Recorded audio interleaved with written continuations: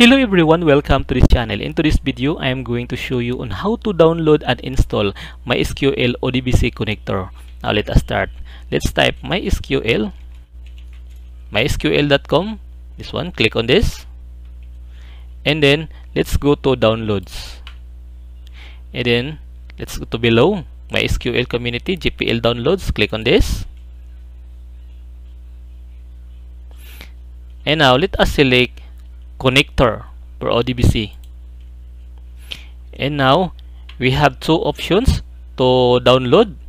We have two installer the 64-bit and also the 32-bit but in my case I'm using 32-bit so I have to download the 32-bit download. And then no thanks just start my download.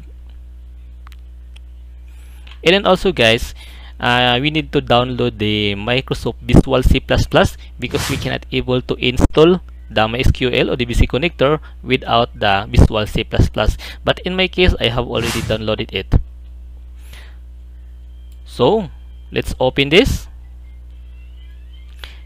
So, the setup wizard will install MySQL connector 8.0 version. So, this one 8.0 version. This is the latest version. And then, next, I accept the terms. Next, I will select this custom. Next. Next. And then the program will be will be saved in drive C program files.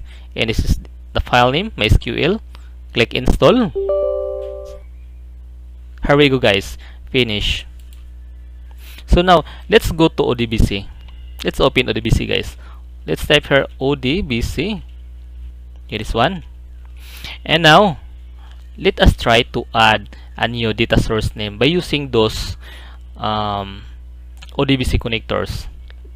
Click this add and then let us find this one MySQL ODBC 8.0. This is the uh, the version that we have downloaded. Click this and then finish. And then let us type, for example,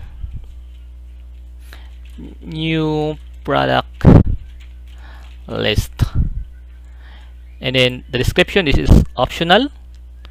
And then for the IP server let's type localhost and then the user is root. And then the password is the password of MySQL workbench. So let's type.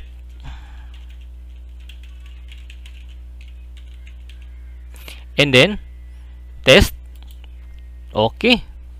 Connection successful so now we can select the list of products which is in the in this user and also in this um, IP server. So I will choose this one products and then okay. So now let us see. This one guys new product list. This is the data source name that we have created. Then click OK so I think this is enough if you have some questions you know what to do just comment it down below. And if you have not yet subscribed to this channel please do subscribe. Once again thank you and see you to my next video